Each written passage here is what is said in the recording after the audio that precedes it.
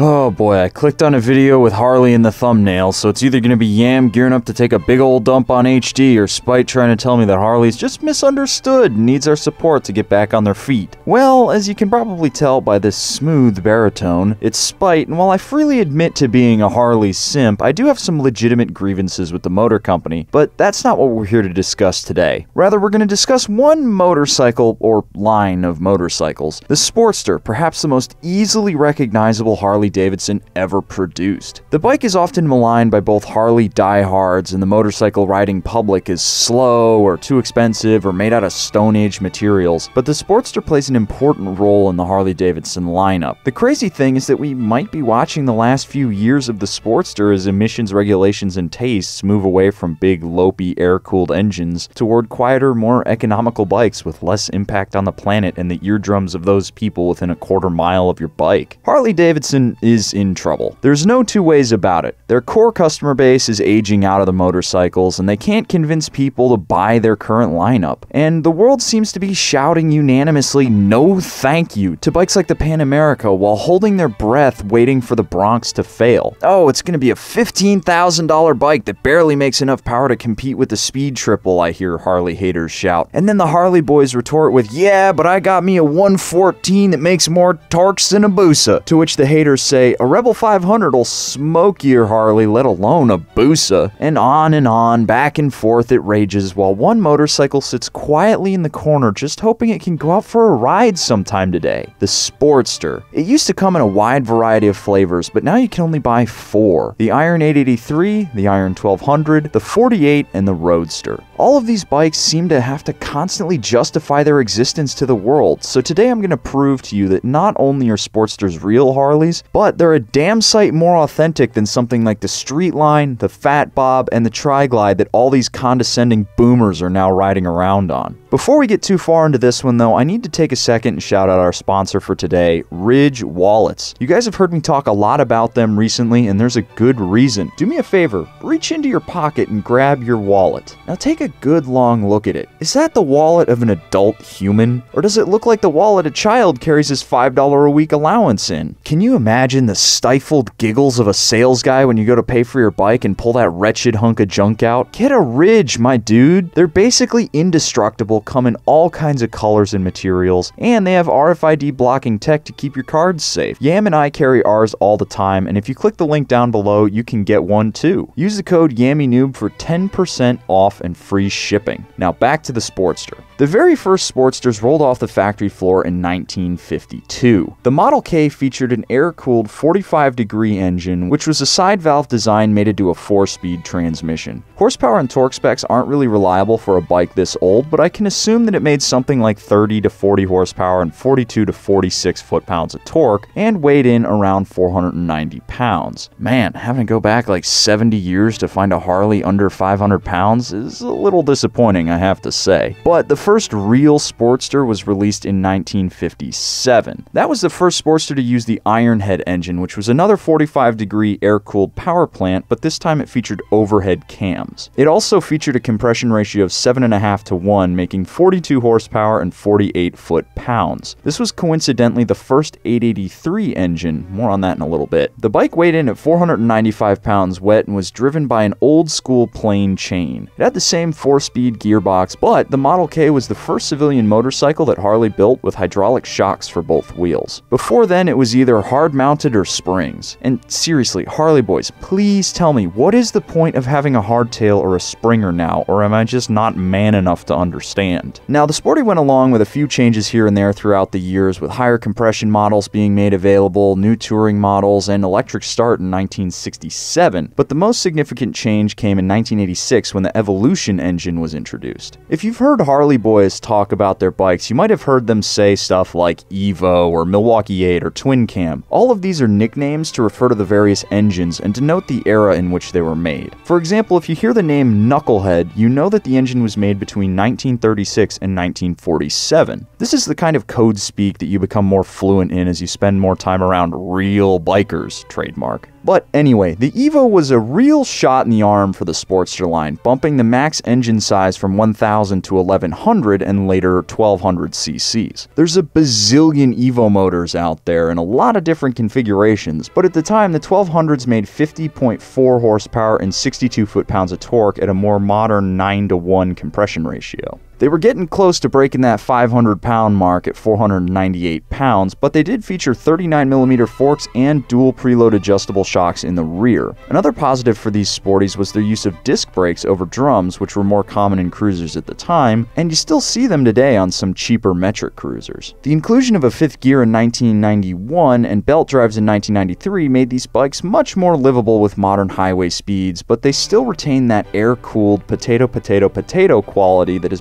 become synonymous with Harley Davidson. There were almost yearly changes to the Sportster from 1993 to 2014, but the biggest was the switch to EFI in 2007. Now, modern Sportsters feature ABS, keyless ignition, higher compression ratios, and catalytic converters to keep up with the times, but when you look at a Sportster now at a dealership, you can see all the bikes that they used to be. Unlike the rest of the modern classic crowd, Sportsters never had to reinvent themselves. They never ceased production only to be brought back to capitalize on hipsters. They've always been there. As Shade Tree Surgeon, who's awesome by the way, I've been binging a lot of his content lately and you should definitely go check him out. But as he says, Sportsters are like heirloom motorcycles. You could buy one today and own it forever and pass it down to your kids. When you hear people say they don't make them like they used to anymore, well, they definitely do with the Sportster. Okay, Spite, you've written a long two page love letter to the Sportster, but you haven't answered the question is it a real Harley yet? And you're right. But here's the thing the answer to that question is really simple. Yes, a Sportster is a real Harley. And if people give you a bunch of grief because you ride a Sportster, they just don't get it. But since you've stuck with me all this way, let me explain why the Sportster is a real Harley. When you think of Harleys, what do you think of? If you're like me, you probably think of a big, heavy, black motorcycle that sounds something like this.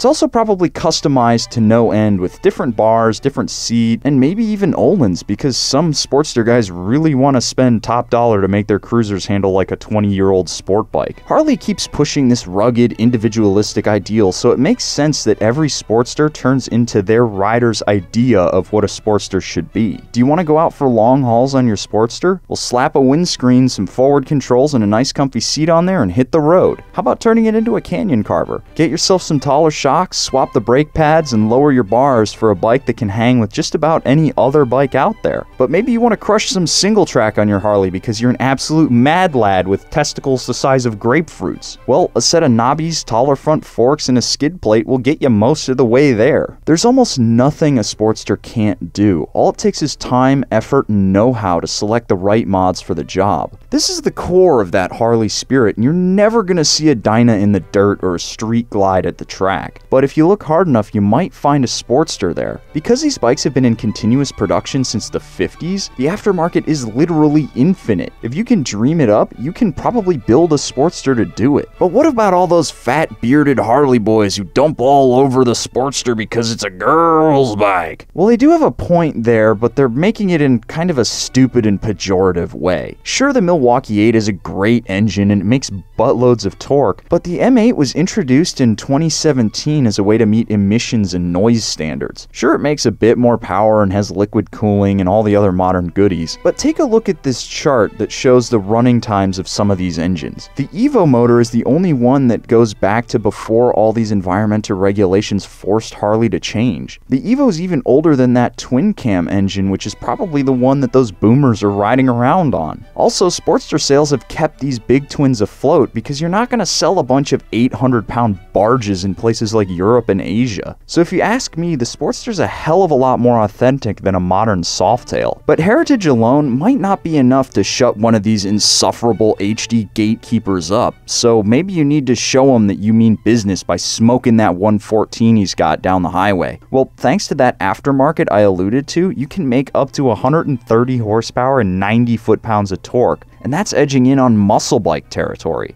Admittedly, it will take a lot of work, but your Sportster's more than willing to do it. So now that I've shown you that the Sportster's not only a real Harley, but the only real Harley that's being made today, Which bike should you get? Well, you've got some choices. If you're willing to put up with carburetors, you can basically get any Sportster since 1987 and it'll make you happy. Hell, you could even go back to 1952 if you're willing to work on the bike a lot and you're good with wrenches. They're just as flexible as the late model Sportsters, and there's a lot of cachet in saying that you have an old school Harley. But if you're like me and you want fuel injection, you're going to want to go 2007 or newer. If you look into that market, you can get a Nightster, which is the bike that launched the Dark Customs line and the whole blacked out bobber look that Triumph and the Big Four copied. You could get the 883R, which is a higher compression version of the 883 and a staple for those who are looking to make big power. You could even get an XR1200, which is hands down the best Sportster ever made. But let's say you want to go full bananas and drop $12,000 on a new Sportster. Which one should you get? Well, the Roadster is a modern version of the XR1200 with inverted forks, dual discs, and increased ground clearance. Admittedly, it's not as fast or as flickable as the XR1200, but it's the sportiest Sportster you can buy from the factory today. If you're feeling like an in-town cruiser, the 48 has you covered. But if you really want to buy a Sportster and make it your own, the best bike might surprise you.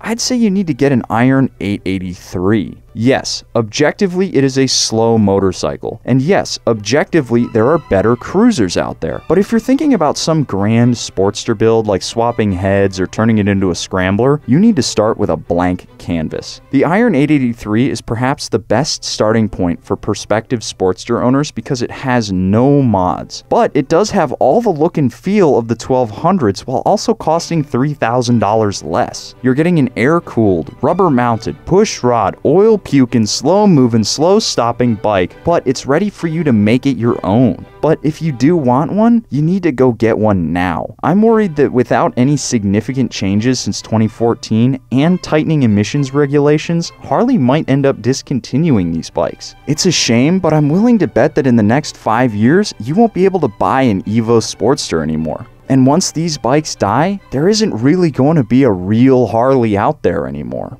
Now how you doing partner? This video's over, but you click on this one right over here, you keep watching yourself some Yammie Noob. Maybe I bend my boost on this one, maybe I'll give you some other funny memes or something like that. You might not know if you watch the video, so watch the video now, alright?